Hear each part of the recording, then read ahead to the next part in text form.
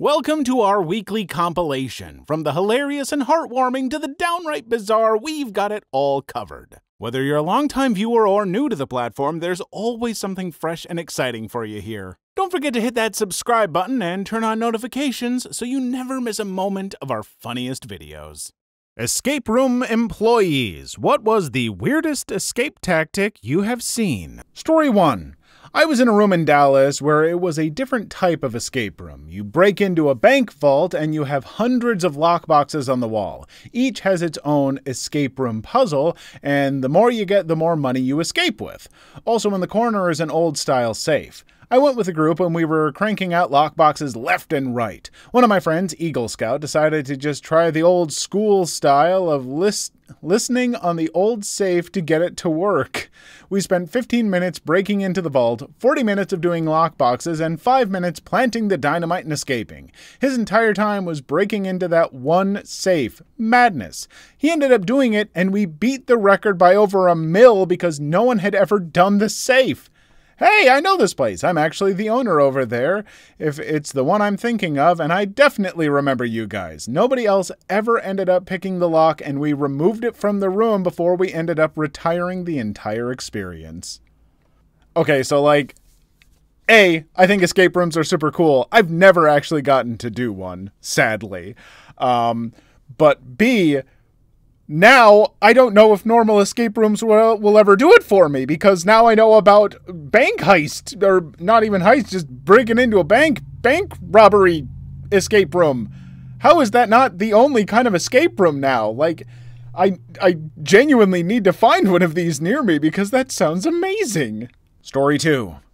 Just a funny experience. We did an escape room where you have to figure out which employee committed a crime, and it used pictures of the actual employees. They also give you whiteboards to write down clues. I saw a guy on the wall named Matt, so I drew him very crudely on the whiteboard with a giant arrow saying he did it.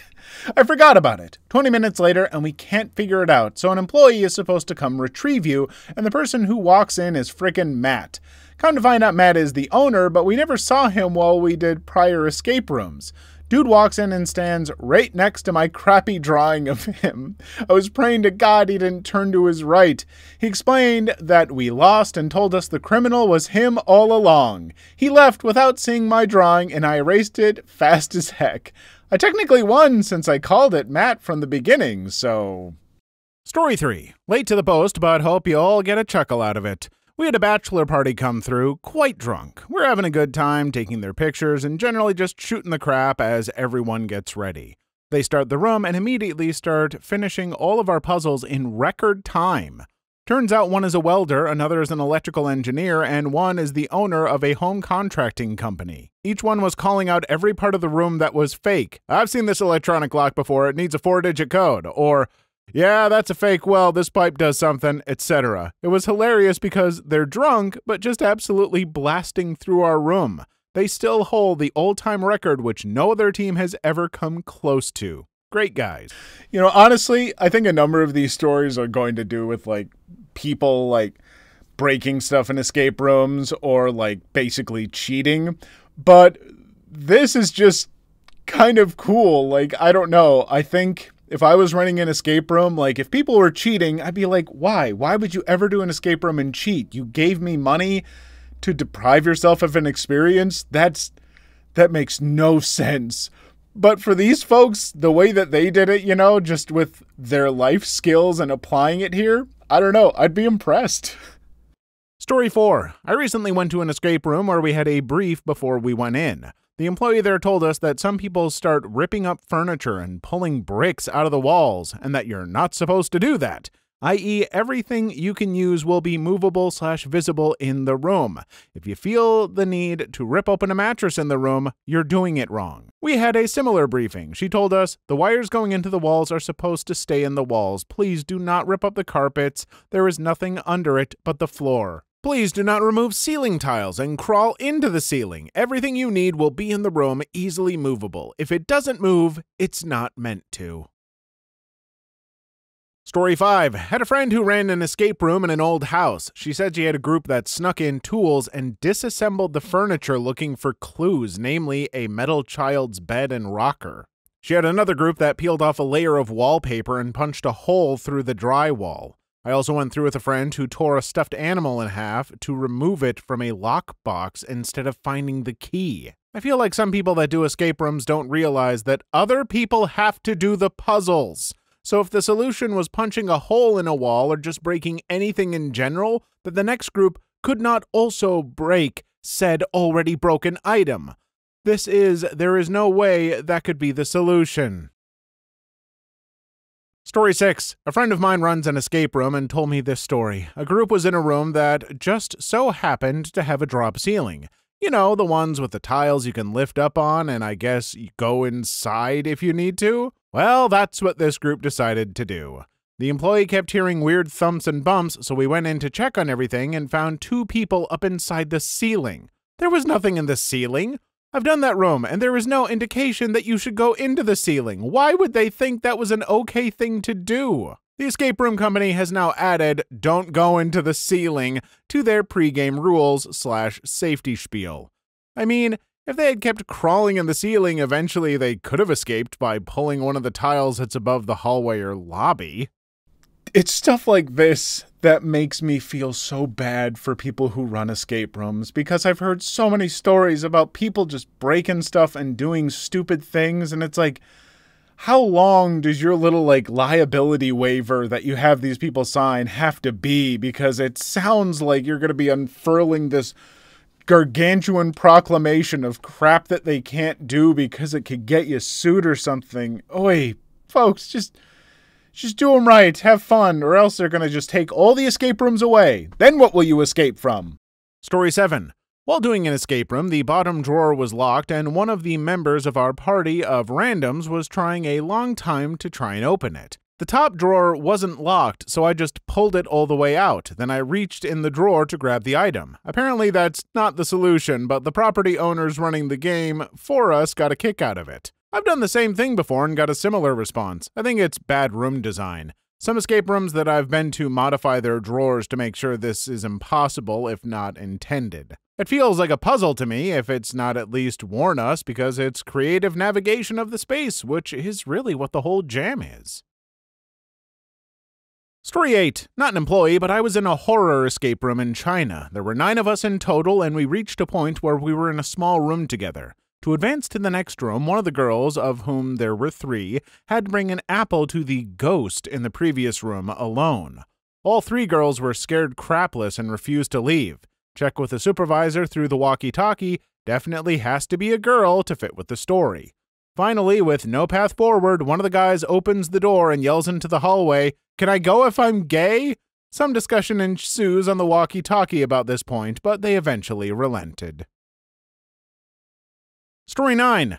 I've done three escape rooms and I am notoriously bad at them. My shining example was when it was just me and a friend doing the escape her first time. We stunk and didn't escape the room. The employee came in and showed us what clues we had left in order to open the door. It was like five more steps, and I thought, well, that sucks, but five steps isn't that bad. And then the employee opened the door to show us the other room we were supposed to have gone into after the five steps. This room had even more puzzles to complete, which opened into another room. All in all, we completed like 7% of the puzzles on an escape room that had a 40% success rate. I've come to terms with escape rooms not being my forte. Hey, there's no shame in that. Not everyone is built to, like, basically do this kind of weird fictionalized detective work, whatever you want to call it. Like, I'm sure that you are smart and capable in other areas of life. Um, I just hope that no one is ever trapped in a room with you because, uh, you, well, I mean, maybe they'll be good at it. You better hope they are. Story 10. I've learned not to make the final stage a lock with a key because dang if I haven't met some of the best lock picks in the state. I had a room solve this by saying it only counted if you used the key to unlock it, otherwise, they wouldn't count you as escaped. Story 11. My family had an escape room, and there was a room with a phone that connected to three other rooms. The doors only open when you dialed the right numbers on the phone, and so my sister just walked up and pressed redial, and the last door opened. We have a record of 7.5 minutes to complete the room. And now they dial a random number before letting in a new group. Story 12. Someone honestly believed that throwing himself at the door counts as solving the riddle. Since that fateful day, I tell every group that it is not necessary to throw yourself at doors. Story 13. My brother and I once got out of a room by taking a magnet from the previous puzzle and using it to lift a key out of a small opening in a locked box. There were six of us, and nobody could figure out the last clue, so we improvised. Got out with three minutes to spare. Unlike all the posts about just picking the lock, that actually sounds like it's in the spirit of the room. Uber drivers, what is the most unforgettable conversation you've had to eavesdrop on? Story 1 not eavesdropping, but the most unforgettable conversation took me to meet Elon Musk, sort of. I was driving back SpaceX rocket scientists from a bar that the company bought out for a night in Cape Canaveral. They were there to watch the rocket launch in which the first stage booster would land back at the launch pad after detaching from the main payload capsule. This was their first attempt about six months after their first attempt, which failed in April 2015. While SpaceX has been successful with this process a handful of times since then, this particular launch marked the first time in history that a stage First stage booster landed successfully after launching a rocket into outer orbit. ULA did something similar, but this was in low Earth orbit, so science junkies don't count it. I watched the whole thing live, and indeed it was beautiful. And at the end, I figured I'd help taxi around some people. I was sure probably Ubered to the event in the first place. Hundreds were gathered. I usually chat with passengers to help pass the time and maybe learn something new. And I was surprised by the first space engineer I picked up who told me about the bar and how the workers had gathered to watch the launch. After I dropped them off the hotel they were staying at, I figured there'd be more rides and made my way back to their bar and indeed continued to shuttle several more scientists back to their hotel. After my third or fourth ride, one of the scientists said, If you want to see he- Elon, he's at the bar too, hanging out. And in my head, I was like, Oh my god! And so I dropped these guys off and drove back to the bar fast. I walked in right at 2 a.m. just as the bartender was starting to close up. I asked the bartender if I could get a drink before looking for Elon, but he appropriately said no. I said all right and turned around, and about 15 feet from the bar, I saw Elon laughing with four or five of his presumably employees, and I stared, gawked really, for a brief moment. As much as I wanted to, I didn't walk up to him because I figured he wouldn't really care for my 21 year old self at the time, and that's okay, since still the best night of Uber. I mean, first, I don't think Elon would have truly uh, enjoyed being around a 21 year old because you were far too old to find his sense of humor that appealing. Ah, I got you, Elon. I'm kidding, Elon. What a great success that was for your scientist specifically that night. But hey, you've enjoyed so many successes since then. I mean, look at your episode of SNL. Look what you're doing to Twitter or. should I say X? Oh man. Ah, oh, it's been a great ride for Elon, the dipstick. I, you know, I just, I really wanted a chance to dunk on Elon for a little bit, so I'm glad this story was here to let me vent that out for a little while. story two! Okay, so this is a post I've been waiting on for a while. Buckle up, guys, this is a long one. Also, I'm mobile, so I don't have my formatting. Okay, I was driving for Uber a few years ago in Savannah, Georgia as a side hustle, and one night I picked up this couple from a bar. For simplicity, I will call them girl and boy, respectively. Both were both drunk and were talking really loud. Boy kicked off the convo by talking about how he ended up in Savannah, and this is where I started to pay attention because he started to tell this girl that he had enlisted in the Marines to be an astronaut. He was going through his training and it was discovered that he had less than perfect eyesight. So he quit the MC and enrolled into med school in Tennessee to be an eye doctor because he wanted to help people like him to have better eyesight. Well, he couldn't stomach operating on humans, so he left med school and enrolled in veterinarian school. He then went on to say that he got bored of that and he left and moved to AV to go to art school, SCAD. While he was saying all of this, Girl was all full of oohs and ahs. Then he tells her of his world travels, and that's when it happened. He mentioned a particular country that he had visited that, that girl had also visited, although at different times. A few years prior, there was a bomb set off in a mall there. Girl went on about how when she stayed there, she was at a hotel right next to the mall in question and how it could have been her at the mall. By the way, she was legit distraught over this, albeit a few years removed. And because the bombers were later identified as Muslim terrorists, boys went on to tell the craziest thing I have heard that night. He goes on to tell a story about how his cousins were in the same Eastern Bloc country, I can't remember right now, on a mission trip. The whole town comes under attack from, you guessed it, Muslim terrorists. He went on to say that he called his parents and told them what was going on with his cousins, and then proceeded to tell Girl that his parents then called in a favor from a friend and had the effing CIA go in and rescue them. I then dropped them at a high end apartment complex. I honestly felt bad for this girl. I feel like Boy, um, you know, Sandra Bullock's grown up child from Bird Box, apparently. Um, I feel like Boy is full of crap from the way this story is being told. I can't quite pick it out. I'm not getting a, a, clear picture of the tone here, but he does sound like a bit of a Napoleon Dynamite sort of type, you know what I'm saying? Maybe? I, am I reading this right?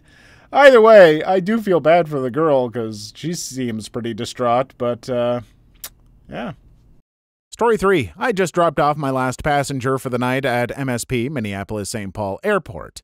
As I'm pulling away from the curb, I see a man around my age completely in tears. Especially in a high traffic area, I'd normally keep on moving to avoid backing up traffic, but he's obviously in distress, and I didn't want to just walk away. I step out to ask him if he's all right, and he's mustering up everything he can to explain his situation through intermittent crying and attempts to breathe. He apparently needs to get to Duluth, Minnesota, two and a half hours away, and no drivers, Uber, Lyft, shuttles, or taxis would accept his fare, especially since it was so late at night. Up to this point in my own life, I had been battling a deep depression, with most days leaving me feeling like I was on the losing end of an endless war, so I felt a great sense of empathy for this guy.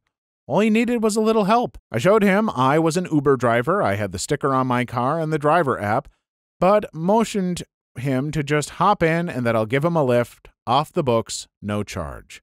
He accepted, so we gathered his things, loaded up, and were on our way for a road trip to Duluth. We didn't talk, didn't need to. An hour in, once he collected himself and NPR started to static out, he asked to borrow my phone, so I obliged. Based on his conversation, he recently lost his wife of several years and their children in a car accident. He then lost his job. He lost his home, and now he was on his way to see his father, who was on his deathbed in Duluth, and had sold everything in his possession to make this trip. We pull up to the address, and while unloading his things, he attempted to hand me whatever money he has left, which I wasn't going to take regardless.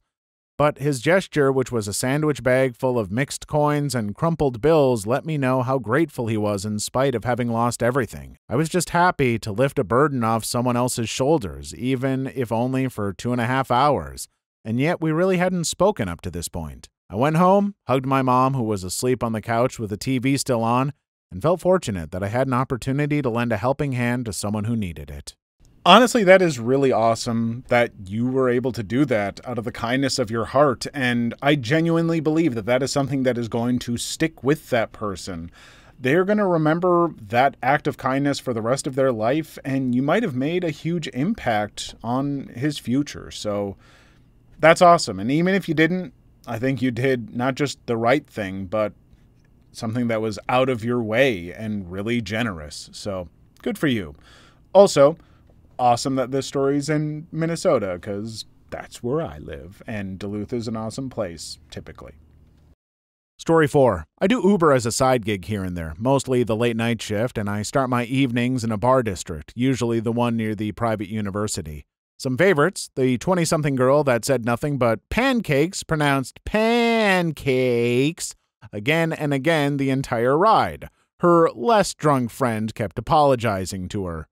The gal I dropped off at what I think was a rave. She kept telling me about how fun it was and that a bunch of the gals ended up topless last time. I did not want to see her topless. The couple that, as they were getting in the car, were trying to get another gal to come home with them. The guy kept talking about how he wanted that sweet bud. It was at the end of the night, so I obliged a Whataburger fast food stop. Car in front of us had a puking passenger. My passengers started yelling at them, and they almost got in a fight. The couple that's fallen in love for the night. I'm pretty sure they were doing the nasty in the back seat.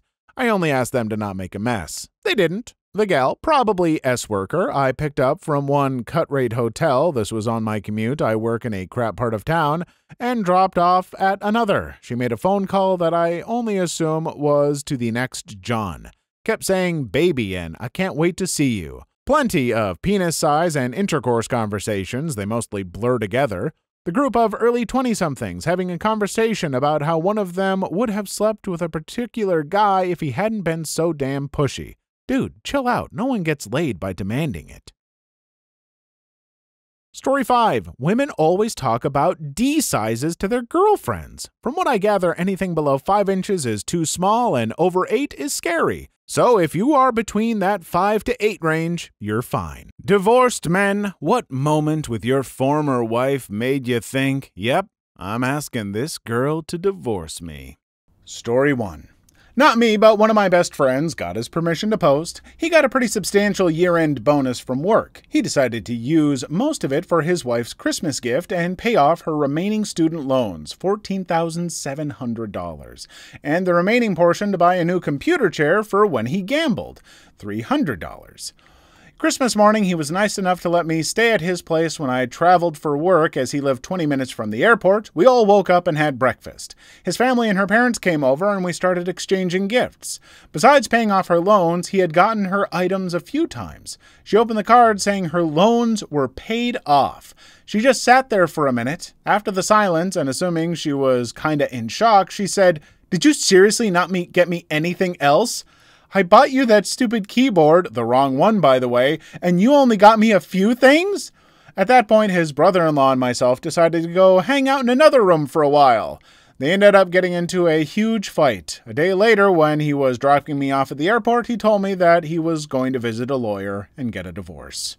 That is, first off, heartbreaking for your friend, and second, he paid off almost fifteen $1,000 worth of student loan debt, and she was snippy about it and snarky.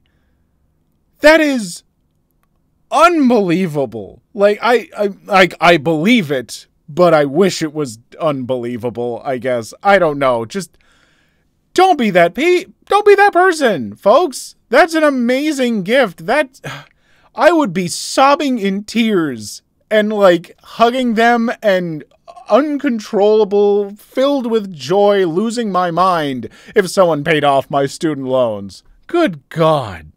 Story 2. During the last year and a half of our marriage, she became extremely psychologically abusive. She was a narcissist, controlled my every move, would isolate me, refuse physical contact. I was just an extension to her life. Was not allowed to talk to any female, was not allowed to hang out with any friends, or she would ignore me for up to five days at a time. Double standards everywhere. Verbal abuse, and the list can continue, but it hurts to think about. The last straw for me was when she threatened to kill me because I came home from work late, even though she knew I would be home late. It was just a little too late for her, and she also threatened to hit me the same day. This was the second time this happened, and I talked with several people at work about it, and they suggested that I run. I had texts of the threats on my phone and contacted a lawyer that same week. She agreed to sign since I told her I, it would I would take severe legal action if she didn't. Thankfully, no children and it was a clean divorce and I'm happily divorced. Holy crap, dude. Clearly, I found that story very moving and it brought me to tears.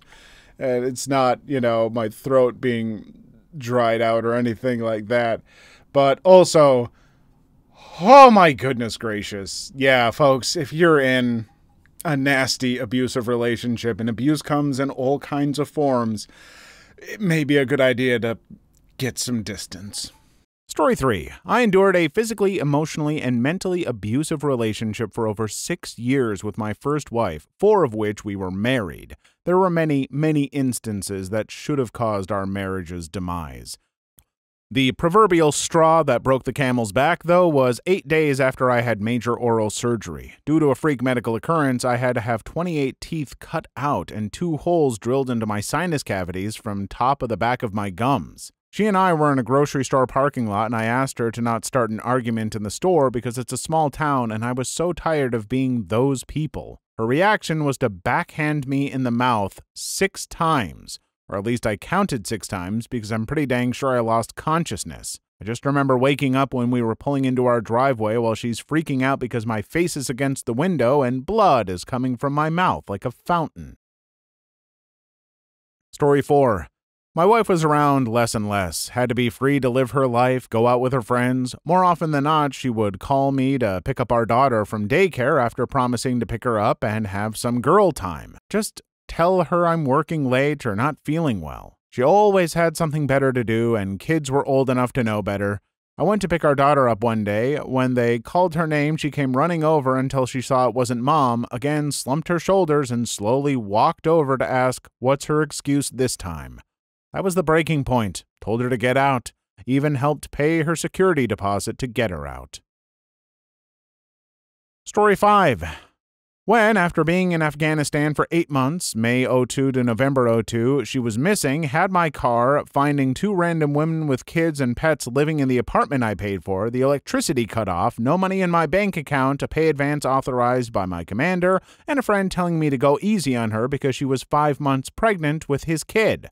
Oh, and he had heart surgery to remove some kind of cyst from his heart just before I left. He was 23, had a pacemaker, and basically half a heart. If I scared him, he could die. I'd say that was the moment. I hope you snuck up behind him and popped an inflated paper bag real aggressive like. Story 6. We flew across the country for her sister's wedding. She didn't say a word to me the entire time since we had parked at the airport. Once we landed at our destination, we walked to baggage claim, absolute silence proceedings for several hours now. At the carousel, I picked up her bag when she took it out of my hand and calmly stated, None of my family knows you're here. I told them I came alone. She walked out of the airport and left me there. Narcissistic personality disorder made for some really fun scenarios. Oh man, I would have crashed the absolute frick out of that wedding because honestly, unless the rest of the family already sees through her bull crap, they'd be on her side over yours. You know, folks, I feel like I've uh, made uh, made it pretty clear where I stand on one of the most important things in a relationship: communication. It's one of the most important things. Clear communication, which leads to understanding and all that other stuff. And if there's one example of not communicating in a relationship, it's this story. You went across the country or whatever, and then it's like, as you get there, family doesn't know you're here. I told them I came alone. What? Story 7. I used to love to do chores for her because she loved being taken care of. When she stopped noticing, it started hurting. Then one day I made a bench for our entryway out of barnwood. Took about 40 hours of work. She walked into the house after work that day and sat her purse on it and proceeded to start the fight where she told me that she was mad she got married to me. She stormed out of the house grabbing her purse. Never noticed the bench was there. I knew then, but I think she already knew. This post hit me. I feel so used in my relationship, but just cannot leave because of my three year old son. Story 8. When she staged a robbery of our house so she could pawn all of my crap for drug money.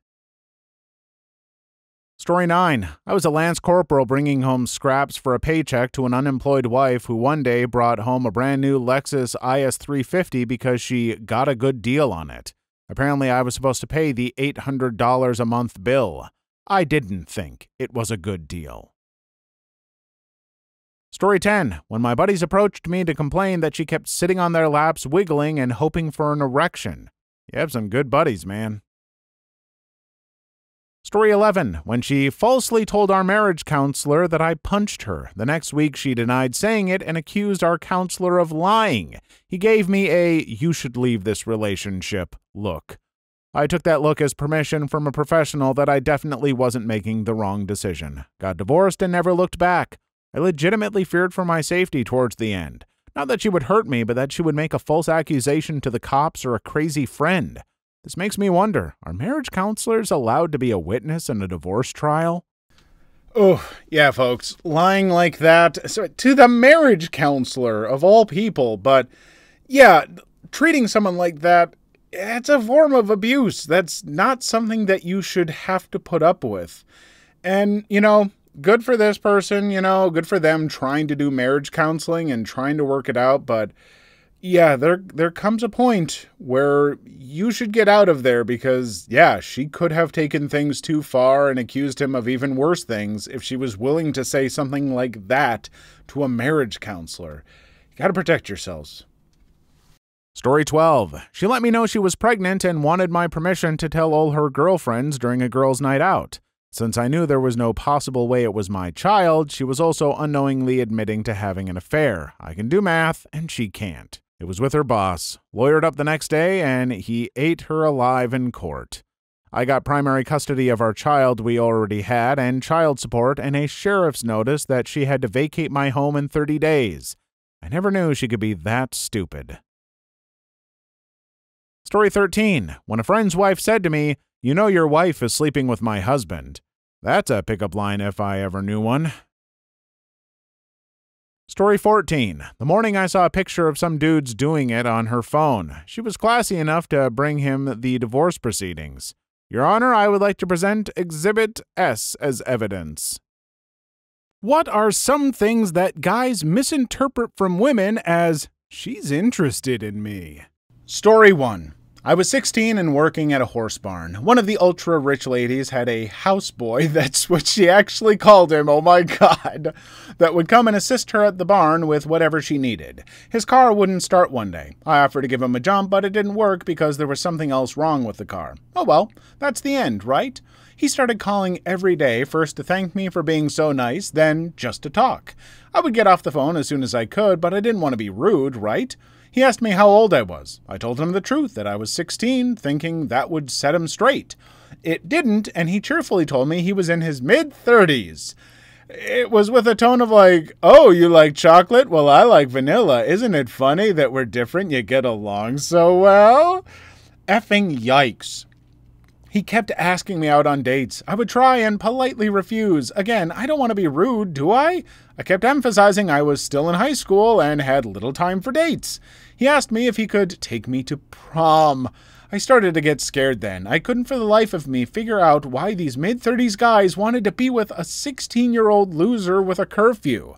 Wouldn't older women who didn't live with their parents be much more appealing?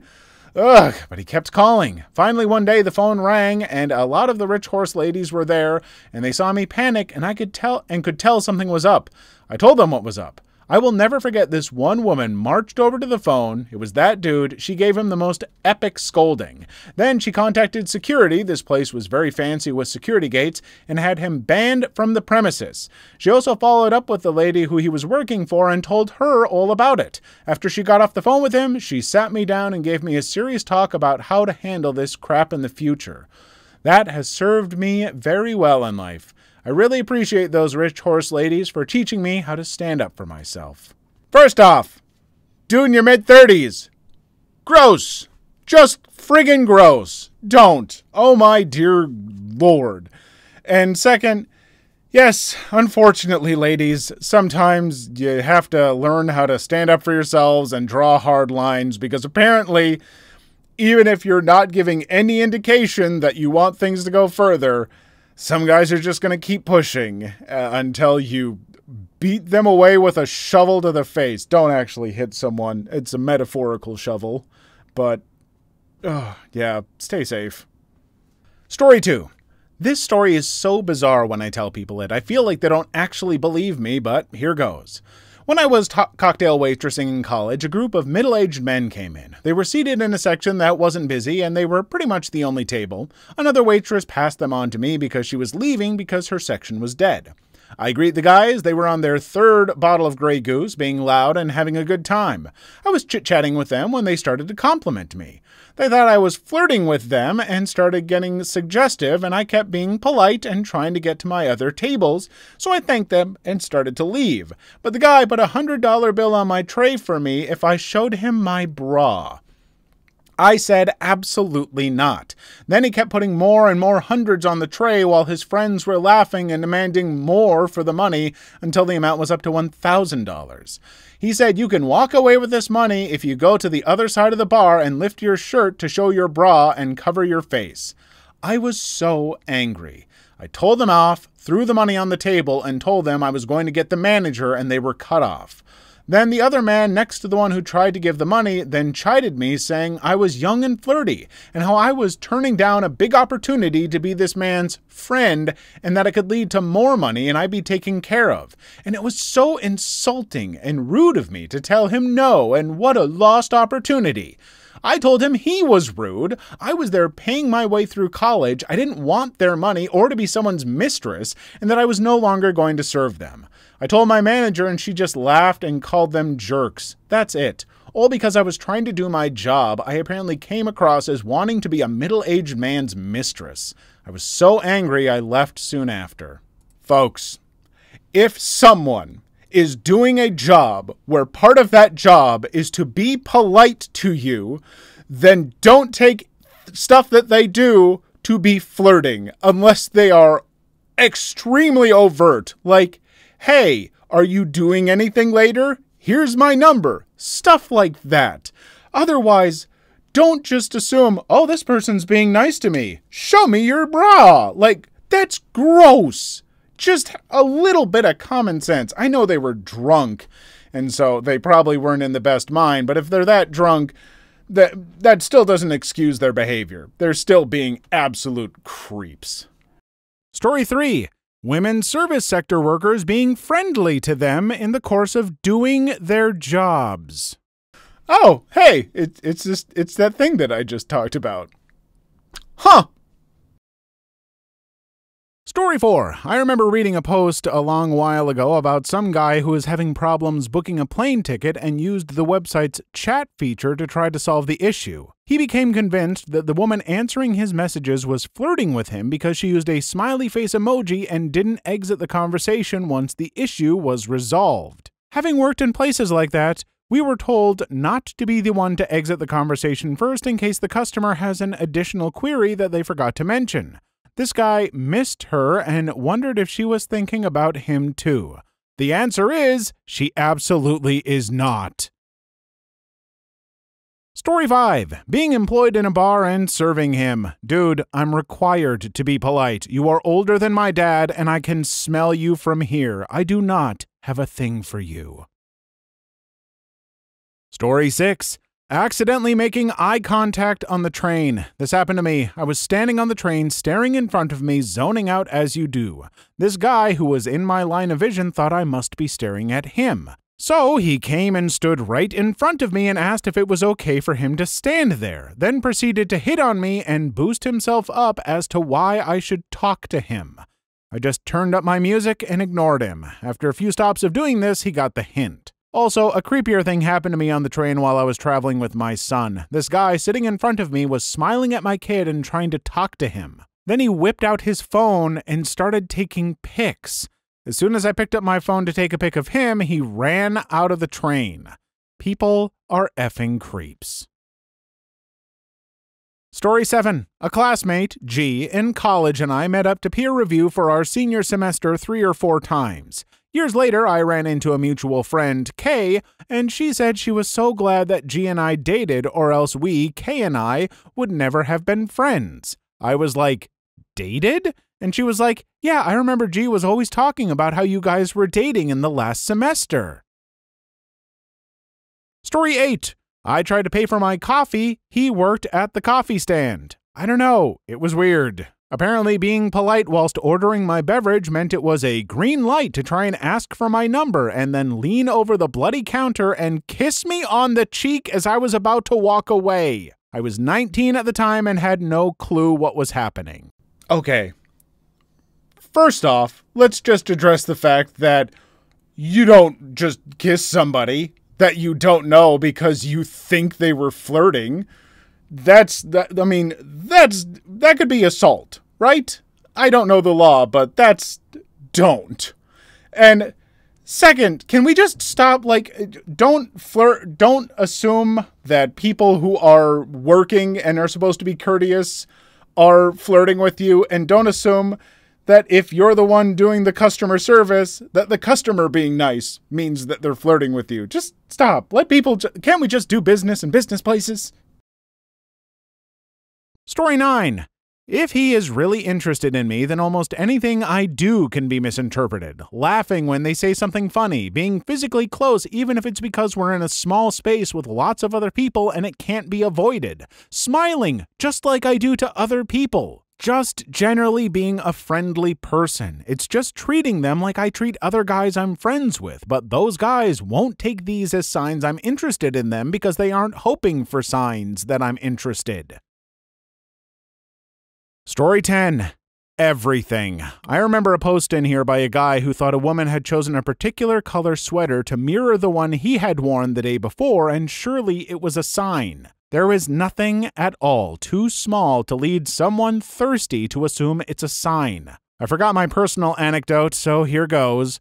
New roommate when we were in college. The apartment housed five people, and this guy was new after someone dropped out and moved away. We were all hanging out one night and talked with him a bit, joked a bit.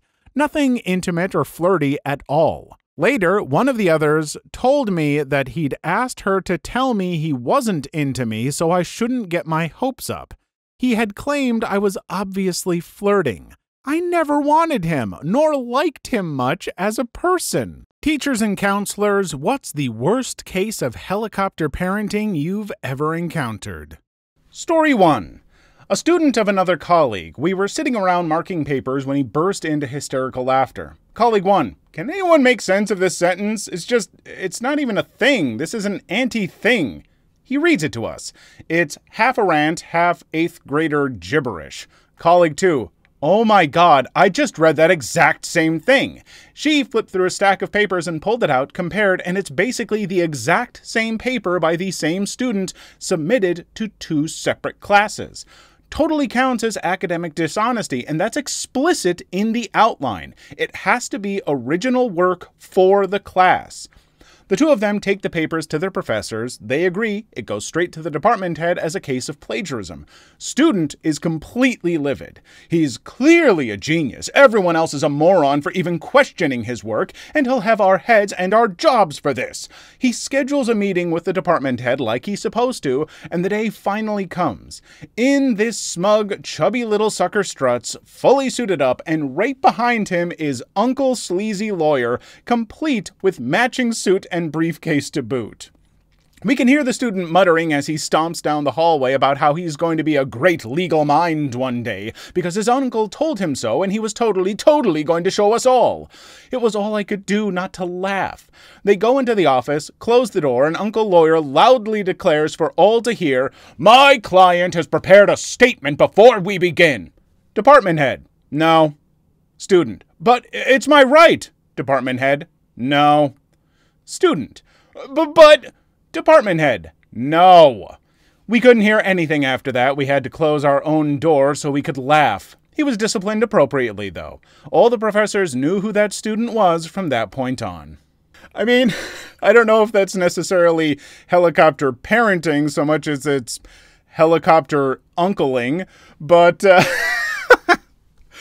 that's funny. I mean, if it's in the rules, if it's explicitly stated in the outline, what are you trying to argue? You have to make it, you know, specifically for that class. I don't know. That I mean, that kid seriously needs to gain just a little bit of humbleness. Story 2. Real helicopter parents get into positions of power where they can directly influence their kids' lives. My mom got a place on the board of my sister's small private high school and managed to put a second family member on the board as well. This gave her a lot of sway in hiring and firing teachers. One teacher was fired for, among other things, using big words like pedagogical at school board meetings. Who even knows what that means, am I right? All the teachers would tell my mom how great her daughter was. Great kid, always improving. Fast forward to college, my sister had a failing average each semester for three semesters. She nearly got expelled for copy pasting a Wikipedia entry on an exam, then denying it. She even managed to fail her physics class, where the mark was based on attendance. My parents elected not to send her back for a fourth semester. How could such a thing happen? How could a great high school student do so poorly in college? It turns out that, quite understandably, none of the high school teachers wanted to risk their jobs to tell my mom that her kid probably had a serious learning disability. This, despite the fact that my sister's dis disability was obvious to anyone who tried to help her with homework for more than five minutes. After a bad semester in college, my sister was finally diagnosed with a learning disability, though the help couldn't come fast enough for her to turn her college career around. Had it not been for my mom's hovering in high school, the teachers might have been straight with my parents, and maybe my sister would have gotten help sooner. This right here is one of many reasons why helicopter parenting is a bad thing, especially if you are helicopter parenting to the degree that you're basically threatening their teachers and the people who are supposed to be helping them. Like, that's ridiculous. This poor girl could have gotten help sooner and might have turned out to be a much better student and had a better time, but because her mom was this just awful force like this, instead of her mom helping her like she wanted to, she has hindered her daughter's life. Story 3. Currently a teacher, but my story comes from my days as a college student. My university offered a day long parent orientation as an option for parents while their kids were attending their own two day student orientation session. The summer before my senior year, I was hired as a student employee for this parent orientation session. Steady hours, good pay, etc. A pretty nice summer gig for a poor college student. Anyway, we met a wide range of parents at the registration table. Some of the parents were obviously not too worried. Is local bar still open? I'd love to duck out and get some nostalgia beers.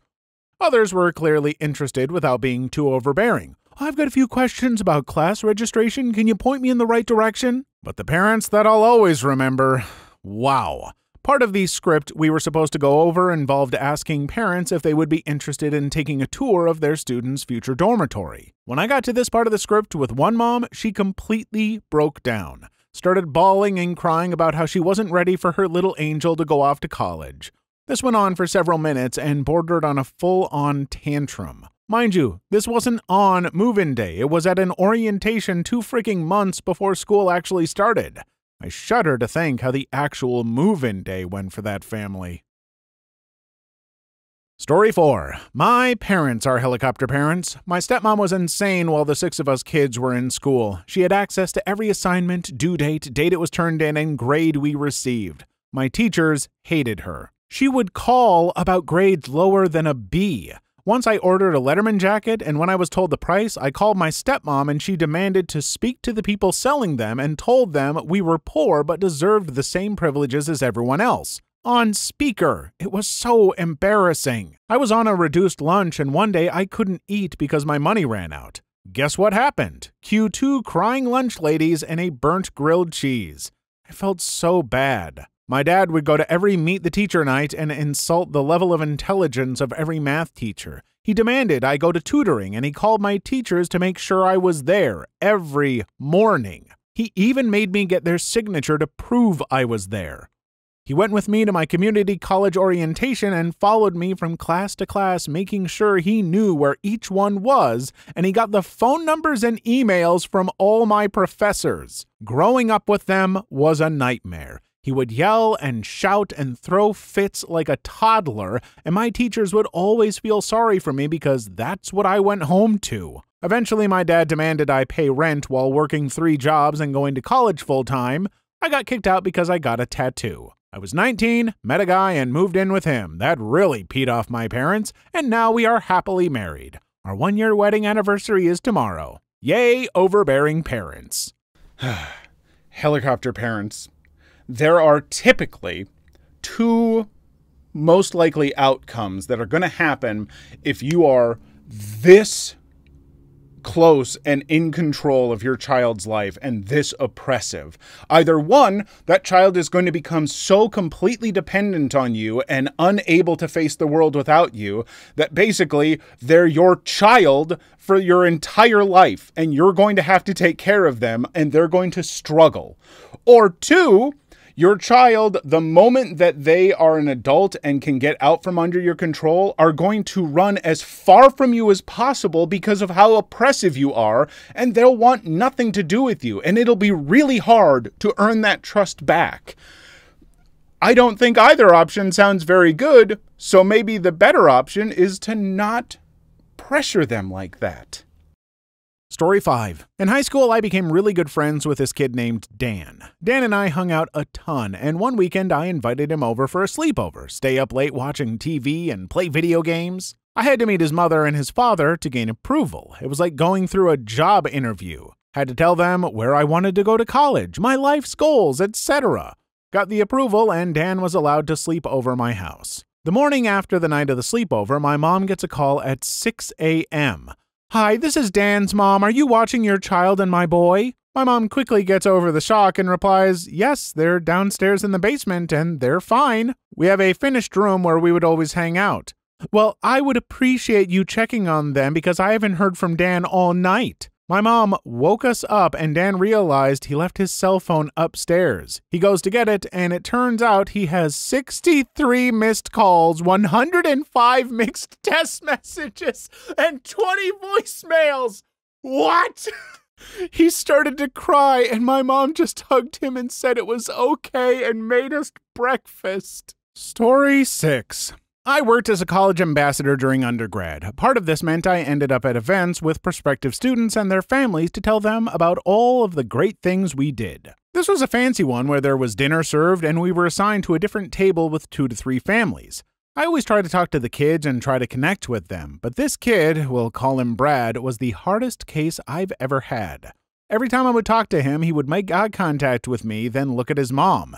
She would answer every question I could ask. What's your favorite class? What are you looking forward to the most? All were answered by mom. Then, of course, because Brad wasn't asking me any questions, she decided to start asking me questions about my college experience. This was when she told me of his life plans. He too was going to be a resident advisor in college, and he was going to graduate in three years so he could go to med school at Harvard and he was going to get married to high school girlfriend's name before med school started. You could see the kid just try to shrink away. What's your customer's dumbest complaint? Viewers Edition. Story 1 a few years back, I worked the register at this rather famous surf shop. To be fair, a lot of customers here were just straight up mean or entitled. The front counter displayed all these really nice watches, easily costing around 1000 each. One day I was helping this woman pick out a watch for at least a solid 5 minutes. She was holding them, comparing them, looking at all the details, etc. Again, she couldn't make up her mind. She seemed nice enough though, at first.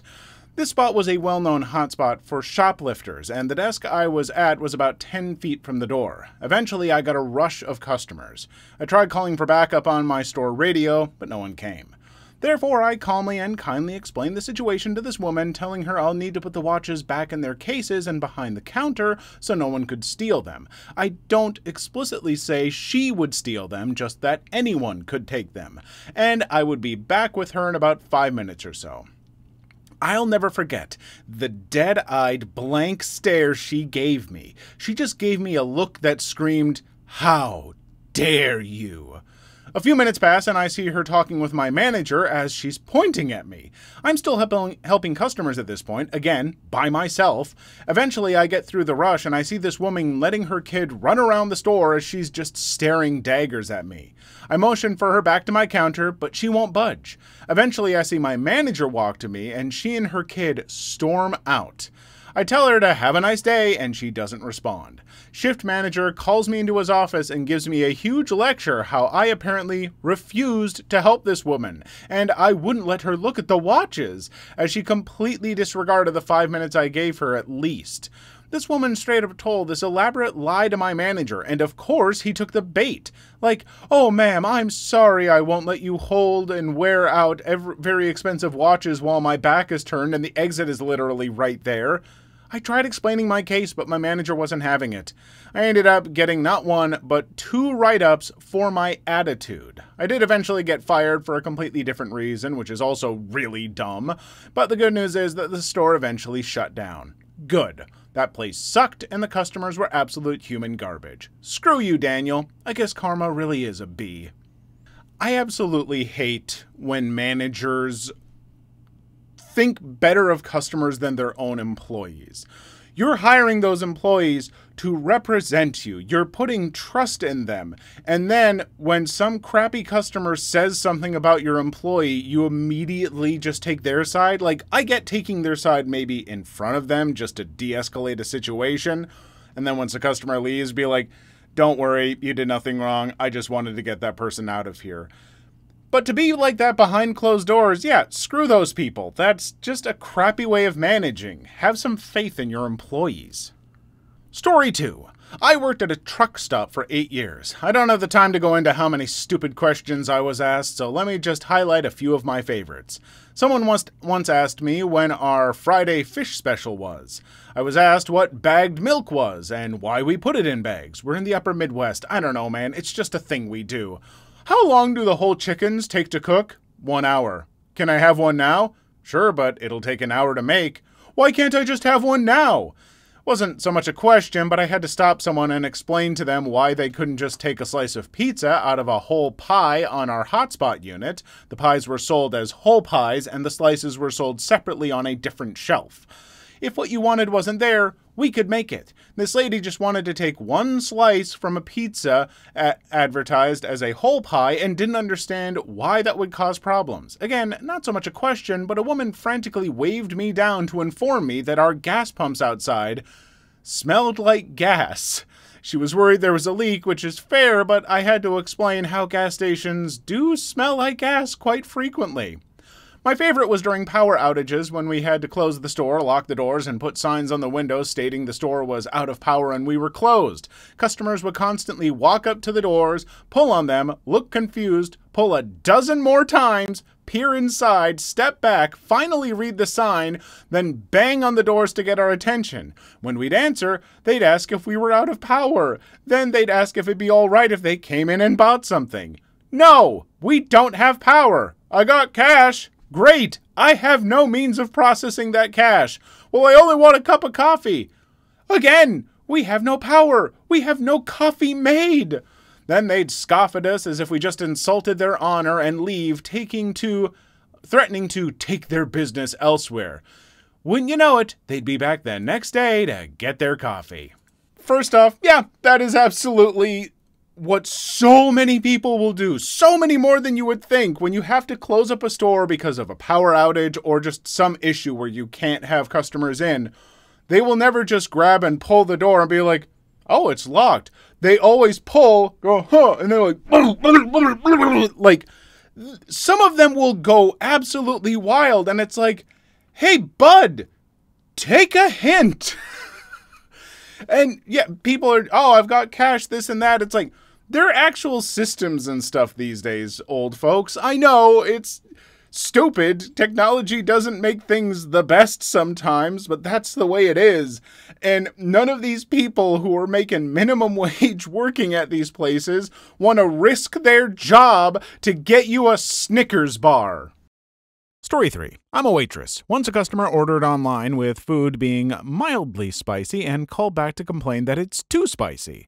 While I offered to remake it for her and let her know that we'll make it not spicy, she complained that our website doesn't have a choice to order something not spicy, and since she has to waste time driving to our place and drive back home, it'll be like 30 minutes until she can eat, and we should offer her another free food after today as well. We hung up and I checked the website, found a not spicy choice if you scroll down, so when she came to pick up her free food, I just kindly let her know, and she just left quietly. Second story several people like to come into our restaurant and ask to use the restroom without being our customer. Some people just lied, asked to take a look at the menu while they excuse themselves to use the restroom, or let their friend using the restroom came out and just left. I understand that sometimes it's hard or urgent when I need a restroom, but it's way too often for people coming in to use the restroom. My owner put stickers for no public restroom for years in the front door, but nobody seemed to care. If it happened once in a while, I can let a few people use it.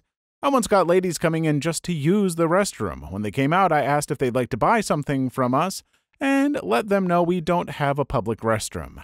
They said no and were kind of rude and angry, saying that they're not even from here and will never come back to our place. And even taking a photo of our front door slash name of restaurant to maybe complain online, but whatever, the owner is always cool and understands employees. Sometimes I just wonder if people realize that we're not only the ones cleaning without you being my customer, but the restaurant also has to pay for water, electricity, trash bags, towels, etc. You know, even if you just buy a single drink, I'll mark you as a customer and you can freely use the restroom to your heart's content. Just don't make a mess.